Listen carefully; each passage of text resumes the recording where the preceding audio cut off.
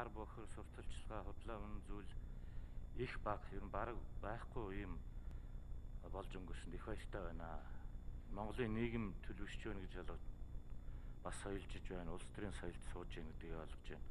Нөгөө талаар нь сонгуульд орж байгаа намууд маань бас энэ тал дээр маш хариуцлагатай сайн ажиллаа гэж би бодож байна. Мэдээж одоо жижиг сажиг юмуд гарсан л байх. Гэхдээ урд өмнөх сонгуулиудтай адилхан харьцуулахад хамаагүй тийм эерэг уурамсгалтай зөв соёлтой юм сонгуул бол энэ тал дээр би их хурлд гардын намын бүлгийн дарга Гамбат бас ийм дүгнэлт хийж байгаад би бас баяртай байна. Бид нэр цаашдаа яг ийм байдлаар улс төрийн хариу асуудалтай ингээд яваад бол Монголын улс төрийн төлөвшөд соёлжоход ихээхэн том хөв нэмэр тал талаасаа оруулна гэж бодож байна.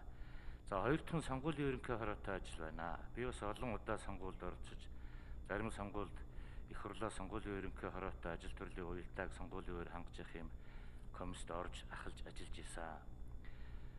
Аа урд өмнө сонгуулийн ерөнхий хороо маань дотроо одоо би тэндээс нэр дэвшсэн, тэр эндээс нэр дэвшсэн гэдэг утгаараа бас зөрчилддөг, тэрнээсээ болж ажил гацдаг удаадаг зүйлүүд байсан. Энэ удаа нэг ч тийм зүйл ажиглагдсангүй. Би энэ бас мах баяртай байгаа.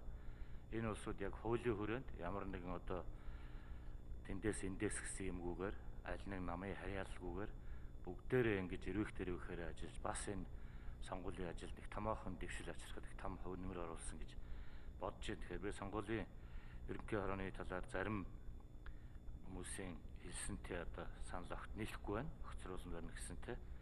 Би бол сайн ажилласан гэж бодож байгаа. Цаашдаа яг ийм байдлаараа хадгалж энэ уур амьсгал, энэ байр сууриа хадгалж зөв ажиллаарай гэж ингэж хэлэх байна. Та бүхэнд баяр хүргэе.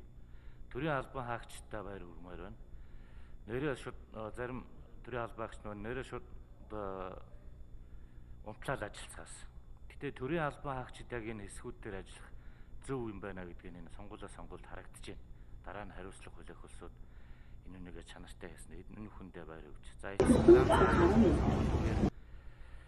бас зарим талаас гараад байсан нэг энэ одоо нэг нэг нам нэг хүн дарангуулагч болох гэж байна гэж. Ийм боломж өнөөдөр байхгүй.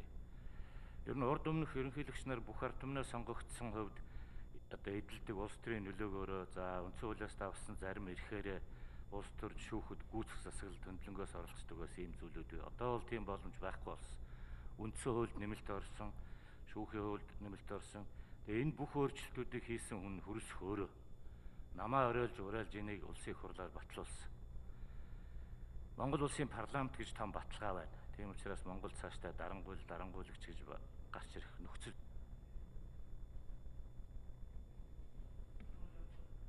Ormir Trevci. Так, що